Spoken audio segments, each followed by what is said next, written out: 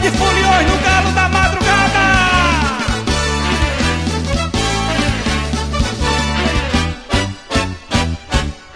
Ei pessoal, ei moçada, carnaval começa no galo da madrugada.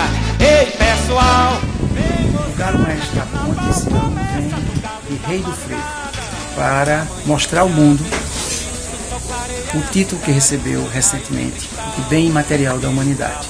Então, este é o foco que nós queremos dar a essa mega escultura de 27 metros de altura que fica na ponte do Arco Então, eu vou começar a simbologia através desse, da ponte, que é o símbolo das relações humanas, é o símbolo da passagem do conhecimento.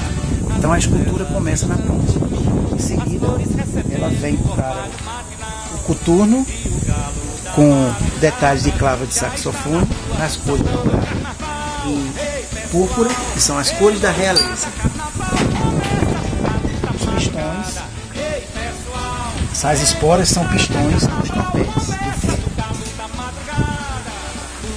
O fraque, que vem aqui e se estende até o rabo, onde essas duas penas representam os, os altos coqueiros que estão no hino da, de Pernambuco.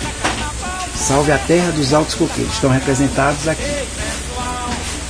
Na, no, no, no colete, a referência ao homenageado Naná Vasconcelos, que é uma temática africana.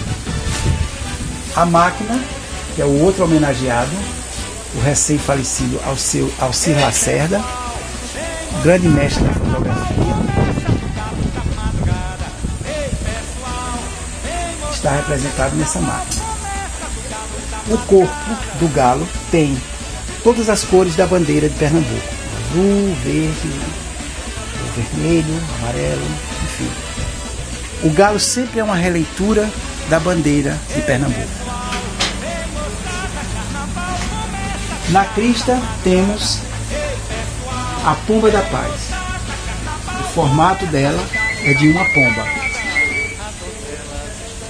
A, a face é toda feita de fibra de coco, um produto 100% natural, desenvolvido por mim ao longo dos últimos seis anos, que é completamente à prova de fogo. É um material 100% natural e que eu desenvolvo todas as minhas peças aqui no meu ateliê. As dragonas do fraque, com serpentinas nas cores do arco-íris da bandeira, vamos dizer assim, que é o resultado final desta peça que antes era uma alegoria e eu a elevei à obra de arte. ei pessoal,